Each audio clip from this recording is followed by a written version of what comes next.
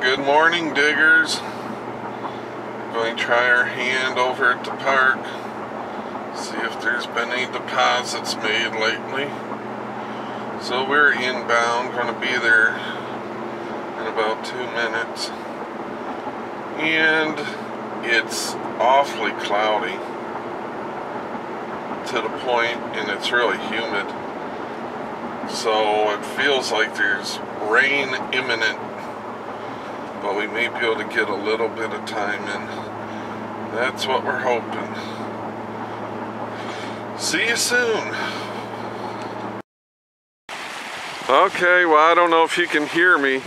It certainly is blowing like a storm could be coming anytime soon. I didn't bring my tripod because I was worried about the beach being filled with people and getting my stuff. Didn't have to worry about that.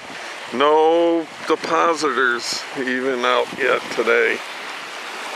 at least they've uh, they've turned over the beach, so we'll see.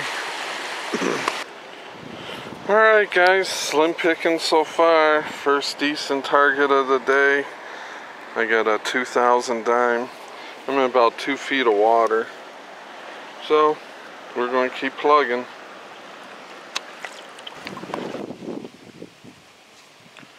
Okay guys, beach started getting crowded so I thought I'd just take some time do a little dirt digging. Just found another little Lincoln. Another penny. I'm trying to get away from digging the pennies actually. I'm thinking about discriminating everything out except like dimes and quarters. But sometimes I guess you still pick up a few pennies doing that. Another dime. So this is working out pretty good. You really don't end up digging a whole bunch of pennies this way. Or other trash. I guess you're not going to get any gold, obviously. But I'm just puttering around. I don't expect any gold up here. Just getting a little bit clad. I'm sure this isn't old. Let's see. 76. Alright guys, well here's the meager finds for a little bit a short search there.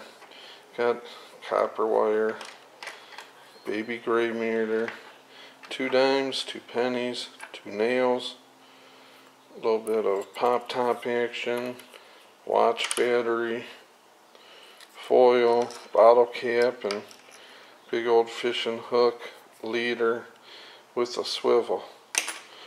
Glad to get the nails and that off. And so that's it. Oh, and this thing's, uh, these, boy, they'll drive you nuts. Those little 22 casings. And then this is first time I ever got this.